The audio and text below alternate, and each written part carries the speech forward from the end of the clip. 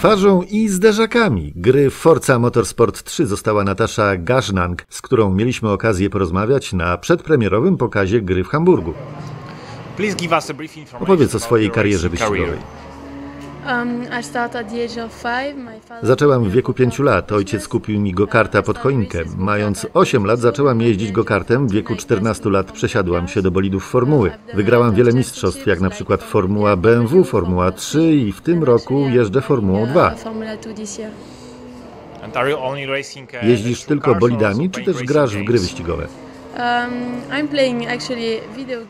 Naturalnie gram także w gry komputerowe, które pozwalają mi na ćwiczenie i wizualizację torów przed wyścigami.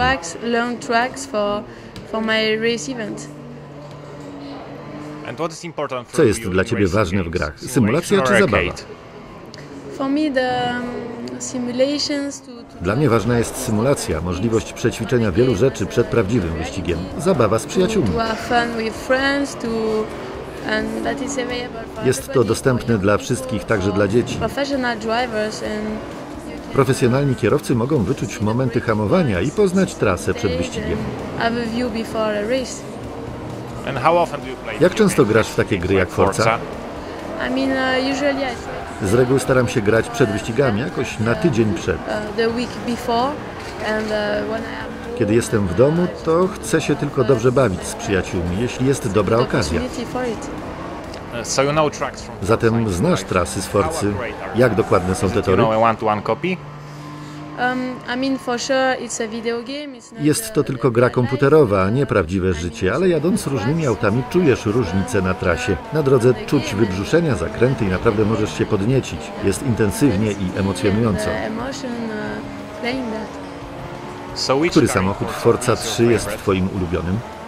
Oj, jest ich tak wiele. Starałam się objechać mnóstwo samochodów, poczuć różnice. Moim faworytem jest Audi R8, bo miałam okazję karnąć się nim po Nürburgringu. Porównałam prawdziwe auto z autem w grze. Jak wyszło?